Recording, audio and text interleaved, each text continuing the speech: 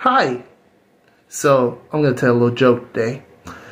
Um, why did the raccoon decide to sleep early under the car? Because he wanted to wake up oily. I cracked myself up. This tastes like shit.